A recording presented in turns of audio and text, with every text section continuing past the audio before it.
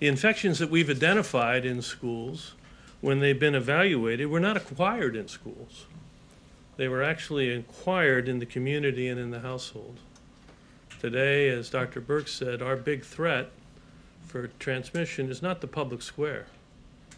It's small family gatherings, family gatherings where people become uh, more comfortable. They remove their face mask and they get together, and it's this silent epidemic that begins to transmit. But it's not inter-school transmission.